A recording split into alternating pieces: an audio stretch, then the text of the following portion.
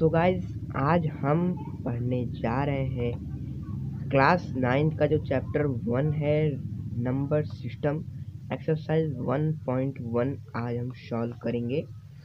अभी देखते हैं। फ़िलहाल यहाँ पर आपको जो पहला क्वेश्चन जो आपको दिखाई दे रहा है, वो कुछ ये है कि मतलब is zero a rational number can you write in the form P by Q हमें फ्रेंड्स पी अपॉन क्यू के फॉर्म में लिखना है where P and Q are integer and Q is not equal to zero जो friends जो हमारा Q है ना, वो ज़ीरो नहीं होना चाहिए।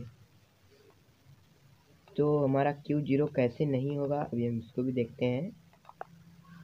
फ़िलहाल अभी तो यहाँ पर हमारे पास जो सोल्यूशन है, उसके अंदर हम आपको बता दें कि मतलब हुआ कैसे है। आप अगर ज़ीरो है, और अगर आपको इसको इन पी बाई क्यू के फॉर्म में लिखना है, हमें इसको पी बाई क्यू के फॉर्म में लिखना है। So it is equal to zero upon one दोस्तों, हम ज़ीरो अपॉन वन इसे लिख सकते हैं। यही फ्रेंड्स हम यहाँ पर ज़ीरो अपॉन टू भी लिख सकते हैं। एंड इसी तरीके से हम इसको आगे भी पहुँचा सकते हैं, जितना हमें जाना हो। तो फ्रेंड्स हमारा जो यहाँ पर आपको दिखाई दिया है, ये जो क्वेश्चन नंबर वन है, इसका सोल्यूशन यहाँ पर नीचे दिया हुआ है। और मैं आपको बता दूँ कि ये चीज़ होती है, जो ज़ीरो है, वो एक रेशनल नंबर है। क्योंकि हम ज़ीरो को पी अपॉन क्यू के फॉर्म में लिख सकते हैं। Zero upon one zero upon two and etcetera तो फ्रेंड्स अभी तो हमारे पहला क्वेश्चन था। अब हम अपने नेक्स्ट क्वेश्चन पे आते हैं। यहाँ पर हमारा जो नेक्स्ट क्वेश्चन है, वो हमारा है find the six rational number between three and four दोस्तों हमें सिक्स रेशनल नंबर फाइंड करना है थ्री एंड फोर के अंदर। दोस्तों six rational number three and four के अंदर मामूली बात नहीं है। फ़िलहाल भी हम लोग देखते हैं। इधर हमें पहले क्या करना है? हमें कितना निकालना है? हमें टोटली सिक्स रेशनल नंबर निकालने हैं। हमें वहाँ पर दिया हुआ है। फ्रेंड्स मैं आपको एक और फार्मूला बताना जा रहा हूँ।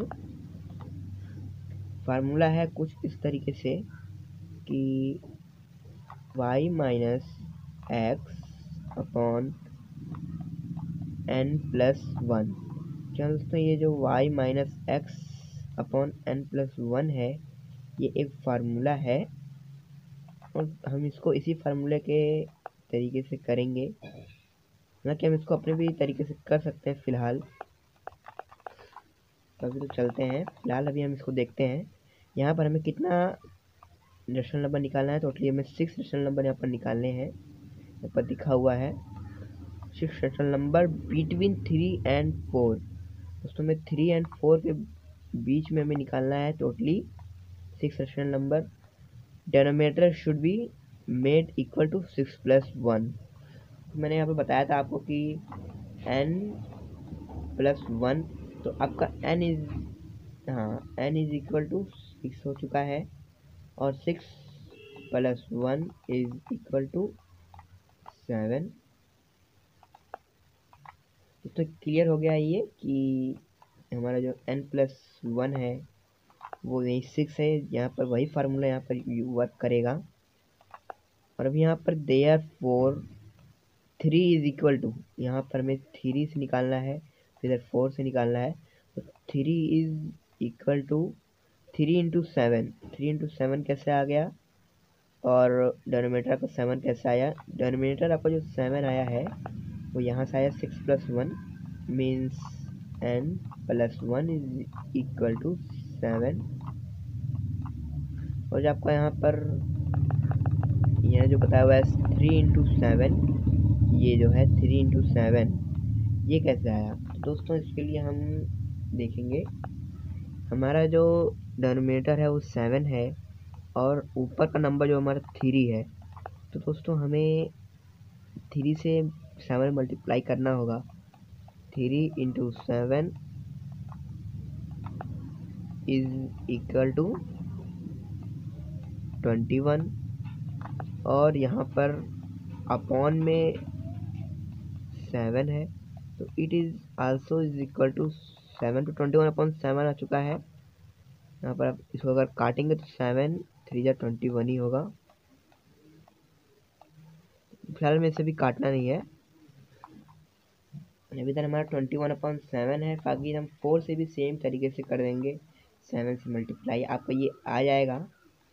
और उसके बाद यहाँ पर six rational number between three and four can be found by verifying the num the nominator between twenty one and twenty eight दोस्तों, हमारा बस इतना छोटा सा स्टेप है।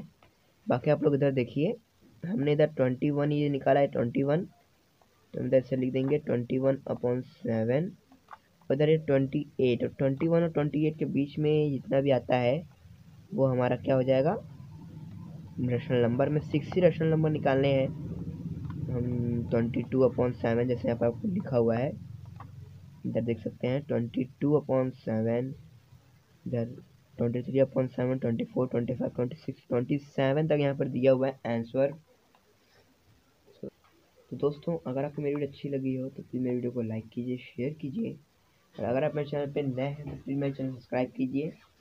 दोस्तों, यहाँ इसके आगे का जो क्वेश्चन है, वो आपको मैं नेक्स्ट वीडियो में बताऊँगा।